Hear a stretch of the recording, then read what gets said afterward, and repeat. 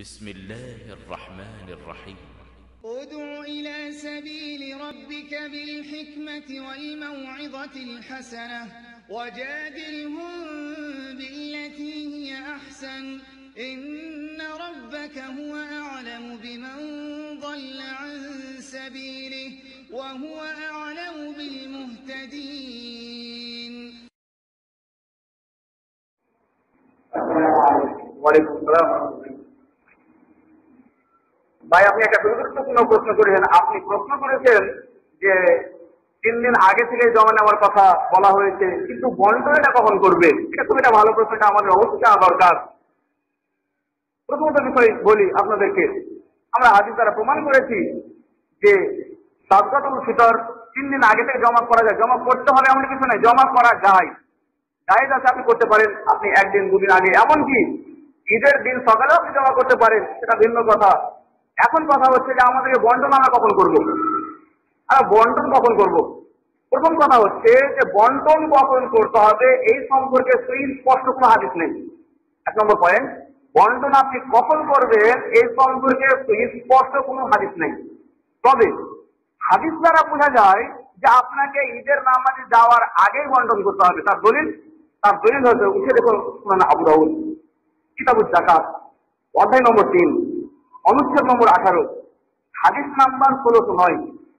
ইবনু আব্বাস রবি আল্লাহ বলছেন যে রসুল্লাহ সাল্লাহ সাল্লাম সজ্জাতুল ফিতর ফরজ করেছেন অশ্লীল কথাবার্তা ও বেহুদা কাজ হতে সিয়ামকে পবিত্র করার জন্য এবং মিসকিনদের খাদ্যের ব্যবস্থার জন্য।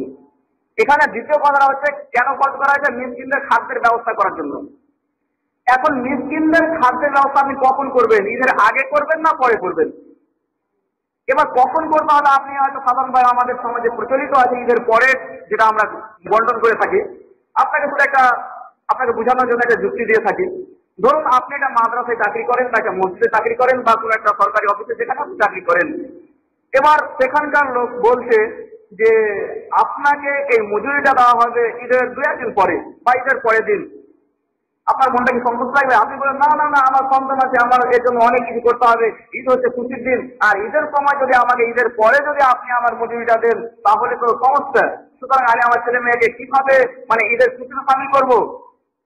তাহলে এই হাদিসের ভিত্তিতে বোঝা যাচ্ছে যে আপনাকে এই জাকাতুল ফিতর বন্টন করতে হবে মিসকিনদের মাঝে। সেটা হচ্ছে ঈদের নামাজ পড়তে যাওয়ার আগে আগে। এবং এ সম্পর্কে হাদিসে রয়েছে। এটার উল্লেখ আছে সহিল বুখারি। কিতাবুল জাকাত অধ্যায় নম্বর চব্বিশ, অনুচ্ছেদ নম্বর ছিয়াত্তর, হাদিস নম্বর পনেরোশো ছয় এবং পনেরোশো দশ। এছাড়াও অনেক হাদিস রয়েছে এবং আবু দাউদের সেই হাদিসটি ষোলোশো নয় নম্বর হাদিস, এটাও এখানে শেষ অংশে যেটা উল্লেখ রয়েছে যে যদি কোনো ব্যক্তি ঈদের নামাজের পূর্বে জমা, ঈদের নামাজের পূর্বে যদি সেটা আদায় করে, তাহলে তার ফিতরা হিসেবে গণ্য হবে। আর ঈদের পরে, ঈদের নামাজের পরে যদি কেউ মানে আদায় করে, তাহলে এটা সাধারণ দান হিসেবে গণ্য হবে। তাহলে আপনাকে বিভিন্ন হাদিসের ভিত্তিতে বোঝা যাচ্ছে যে আপনাকে ঈদের নামাজ পড়তে যাওয়ার আগেই মিসকিনদের মাঝে বন্টন করতে হবে। সুতরাং আমাদের সমাজে যেটা ঈদের নামাজের দুদিন, তিন দিন বা একদিন, দুদিন পর যেটা প্রচলিত আছে, এটা সঠিক নয়। আশা করি বিষয়টি স্পষ্ট হয়েছে।